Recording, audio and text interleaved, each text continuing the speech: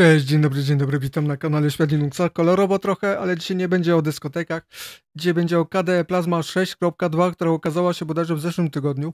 Omówię Wam nowości, przy okazji opowiem trochę o KDE Gear 2408.2, czyli tej poprawkowej wersji. E, słuchajcie, można powiedzieć, że sponsorem, tudzież partnerem tego odcinka jest Maono. Maono, który oczywiście mikrofon PD200X, do którego właśnie teraz mówię, a w rękach mam mikser, mikser, który sobie tutaj teoretycznie działa. Można mu dodać fajne efekty, takie delikatne trochę, trochę, trochę, ale nie będę Was denerwował za bardzo. Oczywiście test, recenzja tych dwóch rzeczy będzie na kanale już niedługo, natomiast dzisiaj cały film nagrywam dzięki temu. Ten mikrofon jest podłączony XLR do tego tutaj sprzętu, można powiedzieć. No i tym sobie dzisiaj nagrywam. Mam nadzieję, że głośno wszystko jest ok. Żeby nie przedłużać, gorąco zapraszam na film i bardzo dziękuję firmie Maono za udostępnienie tego typu sprzętu do testów 8 października 2024 roku. Deweloperzy odpowiedzialni za rozwój projektu KDE Plasma na swoim blogu opublikowali post informujący o wydaniu nowej wersji pulpitu o numerze 6.2. Jest to drugie punktowe wydanie wydane na początku tej roku, tego roku w wersji środowiska w wersji 6.0. Jak napisali twórcy na samym początku informacji o wydaniu, Plasma 6 zyskała swój własny charakter w ciągu ostatnich dwóch wydań. Zmarszczki, które zawsze pojawiają się przy dużej migracji, zostały wyeliminowane, a nadszedł czas, aby zacząć realizować obietnice nowych platform technologicznych Qt6 i Wayland, na których zresztą zbudowano plazmę. Można odnieść wrażenie, patrząc na ulepszenia w tym wydaniu, iż najważniejsze nowe funkcje i poprawki dotyczą cyfrowych artystów i ludzi zajmujących się fotografią i jej obróbką na komputerze. Dlaczego tak jest? Po pierwsze usprawniono obsługę wszelkiego rodzaju tabletów graficznych oraz dodano nowe funkcje tego dotyczące, a można je zobaczyć na przykład po otwarciu ustawień systemowych i wybraniu menu tablet graficzny.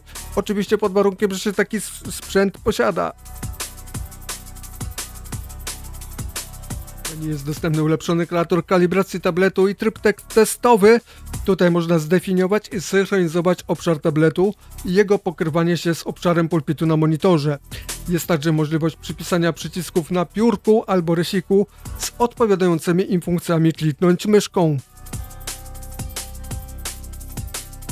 Jeżeli tablet, który posiadasz nie jest tutaj wyświetlany jako obsługiwany, można napisać maila do podprojektu KDE oni się nazywają We Care About Your Input i oni, ta ekipa postara się, aby Twój sprzęt poprawnie współpracował z plazmą, dodając tam informacje, które będą wymagane.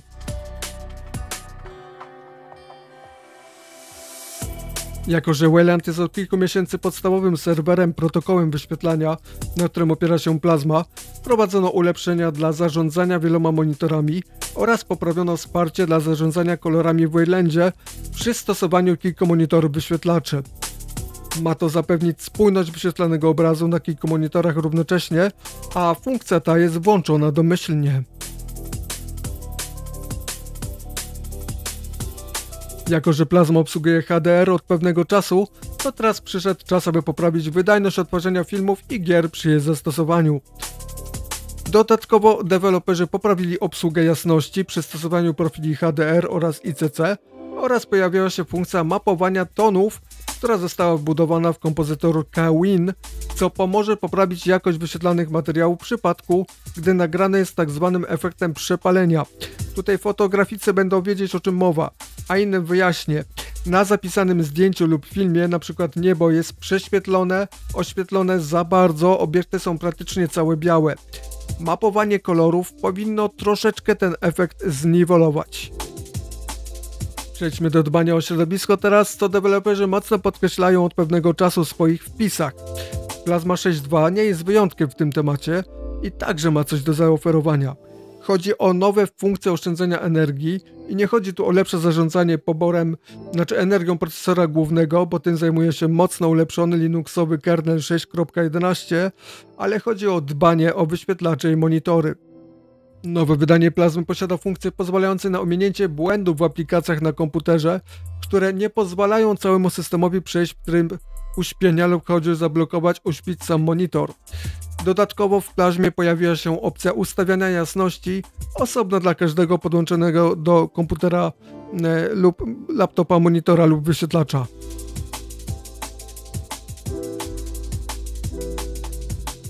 6.2 ulepszono także widget na dolnym pasku systemowym. Od teraz nie tylko pokazuje on procent naładowania baterii w przypadku laptopa, ale umożliwia regulację wydajności systemu.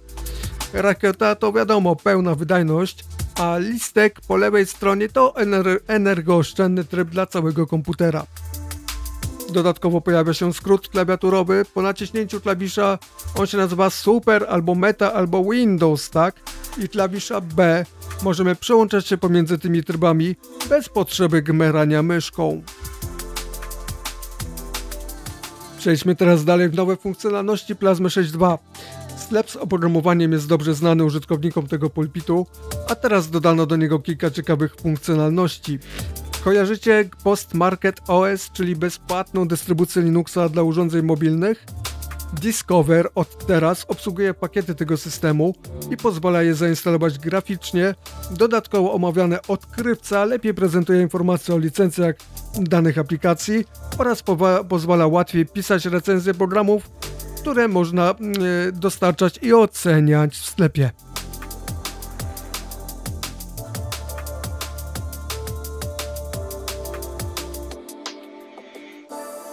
Plasma 6.2 to także kilka nowych bądź usprawnionych graficznych wodotrysków. Kolory akcentujące zostały mocno ulepszone. Zasobnik systemowy, który znajduje się na dolnym pasku po prawej stronie, został poprawiony. Wygląd wszystkich okien dialogowych i systemowych jest teraz bardziej dostosowany i spójny i dotyczy to także okienek wyskakujących, np. tych od powiadomień. Efekty dźwiękowe typu centrum powitalne, widget pogodowy, weather report e, pokazuje teraz odczuwalną temperaturę, a widget, który nazywa się minimalizuj wszystko, teraz minimalizuje tylko okna na bieżącym pulpicie wirtualnym i bieżącej aktywności. Dla użytkowników z niepełnosprawnościami wprowadzono sporo zmian w menu systemowym Accessibility, czyli dostępność. Jest tam od teraz lepsze wsparcie dla osób z daltonizmem, a także dodano brakujące do tej pory w sesji Wayland funkcję Sticky Case oraz wiele innych e, ciekawych poprawek. Trzeba dodać także, iż główne menu aplikacji używa od teraz ikon symbolicznych dla wyboru kategorii, a nie pełnokolorowych jak dotychczas. Powinno to pomóc w odróżnieniu tych funkcji i nie zlewaniu się wszystkiego w jedną całość. Dodatkowo widget schowka pokazuje od tego wydania podgląd obrazu po jego skopiowaniu, a jeżeli posiadamy pliki profilu VPN, jest to rozszerzenie .ovpn, to po kliknięciu na niego będziemy mogli prosto i łatwo skonfigurować nowe połączenie VPN. To oczywiście nie wszystkie nowości i poprawki znajdują się w nowym wydaniu Plasmy 6.2. Pełny release notes ze szczegółami jest dostępny jako link pod tym filmem, a nie, przytoczy, nie przytoczyłem tego, bo zawiera on kilkaset wpisów i opisów.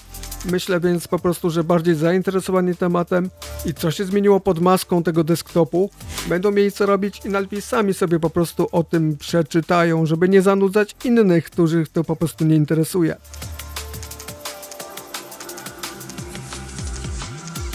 Jednakże przystało na świeże wydanie plazmy mamy kilka re regresji i problemów, które zostaną lub już zostały poprawione w nadchodzącym wydaniu 6.2.1.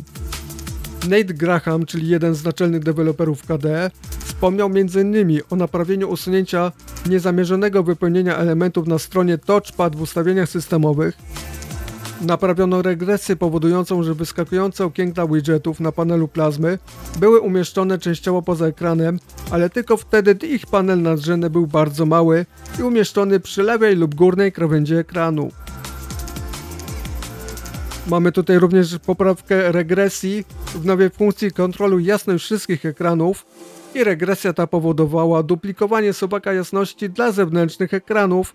Na niektórych ekranach została ona naprawiona z napotkanych i naprawionych bugów poprawiono sytuację, iż automatycznie montowane szyfrowane dyski były montowane normalnie, zgodnie z oczekiwaniami, ale nie były poprawnie wyświetlane w budżecie dyski i urządzenia plazmy, tak?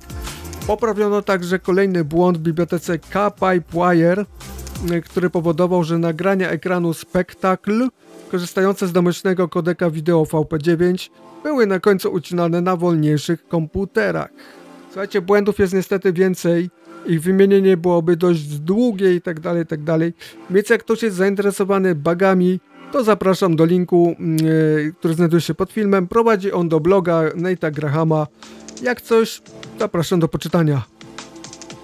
Teraz postaram się Wam przekazać, co zmieniło się w tak zwanym KDE Gear, czyli aplikacjach, które znajdują się w ekosystemie KDE Plasma, acz nie zawsze są standardowo instalowane przez dystrybucje, które ten pulpit wykorzystują.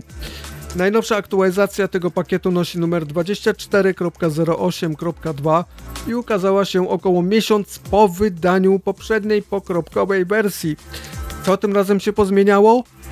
Na przykład Dolphin, czyli menedżer plików, e, ulepszono go, aby ignorował końcowe ukośniki podczas porównywania adresów URL, dzięki czemu nawigacja powinna stać się bardziej intuicyjna oraz naprawiono wyświetlanie, wyświetlanie znaku ampersand w nazwach plików.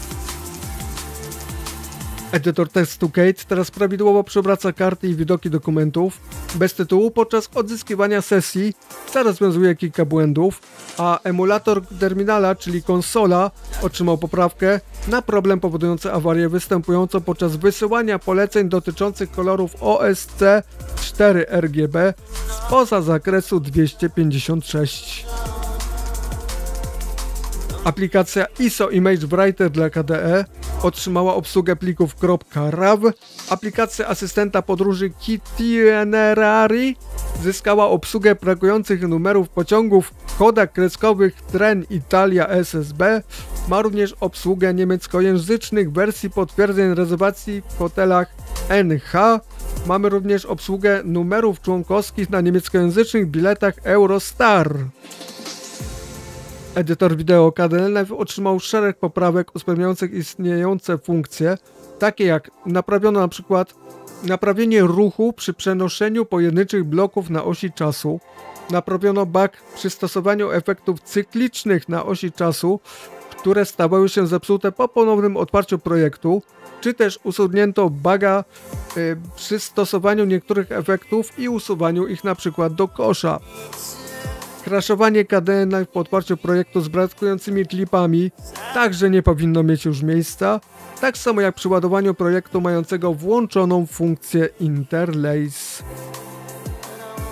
Aplikacje takie jak Spectacle, NeoChat, Tocodon, Mar Marble, K-Torrent, K-Wallet, K-Mail Conversation i parę innych również otrzymały różne poprawki, a żeby się z tym zapoznać i również z wieloma innymi zmianami Zapraszam na oczywiście na stronkę Release Notes od ekipy KDE Gear, dlatego że tego jest naprawdę dużo, jest to bardzo techniczne, no i nie wszystkich będzie to po prostu interesowało.